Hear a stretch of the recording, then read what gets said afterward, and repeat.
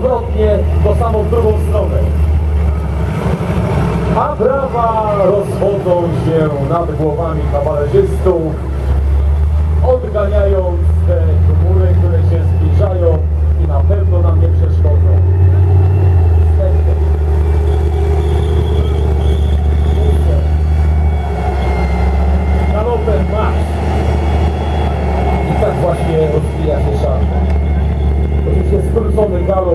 kontrola, by było bezpiecznie.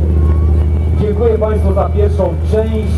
Był to zbiorowy pokaz musztry kawaleryjskiej.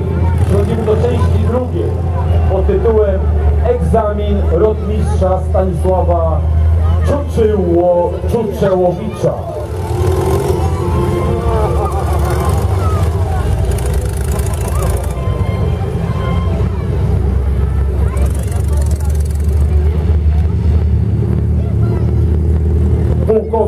Podjechać.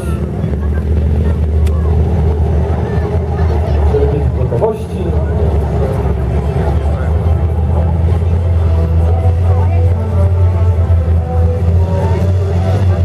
Prawdziwą wartość oddziału kawalerii oceniał Stanisław Czuczyło Czuczyłowicz z pochodzenia Białorusi. Doskonale zdawał sobie z tego sprawę, że szkoląc swoich komponenty mógł osiągnąć znakomite wyniki, a służył 23 pułku stopień wdrażania wprowadzonych regulaminów. Do 23 pułku ułanów też zajechała komisja. Nowy regulamin polskiej kawalerii ujednolicał wydawanie komend, likwidując wszelkie naleciałości, jakimi przesiąknięci byli polscy oficerowie służący w wojskach niemieckich, austriackich i rosyjskich. Padło na szwadran rotmistrza Czuczełowicza. Wyjechali do wsi Bałaka. Droga mijała spokojnie. Jedynie psy wyczuwały zbliżające się konie. Po pokonaniu kolejne, kolejnego kilometra szef komisji stawia rotmistrzowi następujące zadanie. W czasie dzisiejszego marszu e, za tamtych pagórków wyskakują na pański oddział e, no, dwa wrogie samoloty z zamiarem wykonania ataku.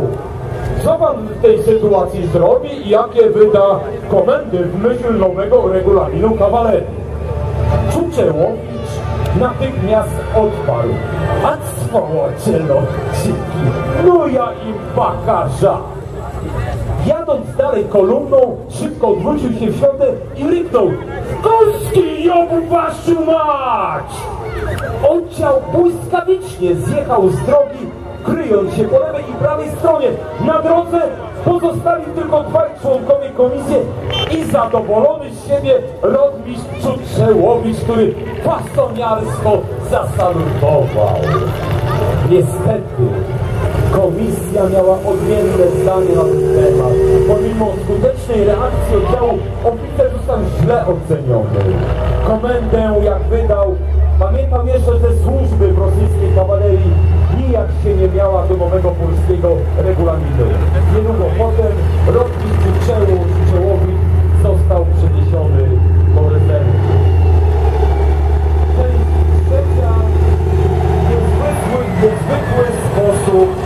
Szarżowania.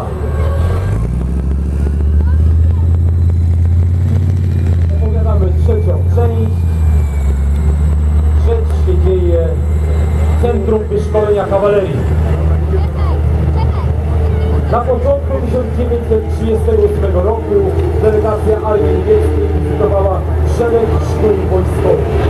Jedną z nich było Centrum Wyszkolenia Kawalerii Gruziąców. Duże wrażenie na nim wywarł pokaz konnej szarży w wykonaniu zawodów.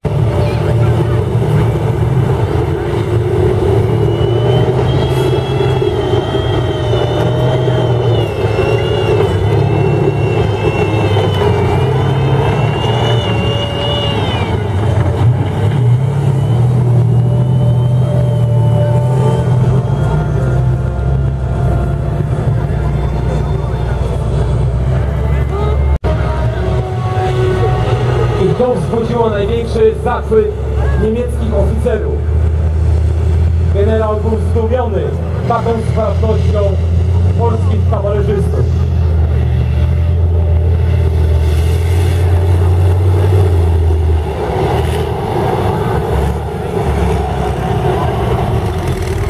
Oficerski sprawdzian. A rzecz miała się odbyć w kasynie oficerskim 8 pułku strzelców konnych.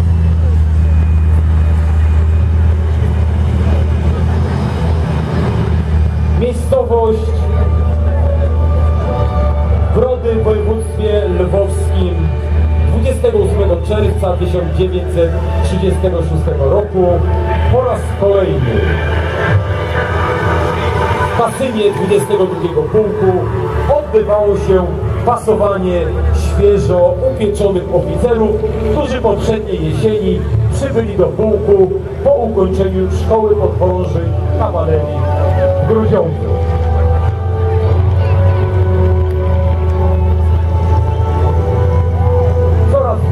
Oficerów pojawiało się w kasynie, oczekując na stawienie się młodego rocznika.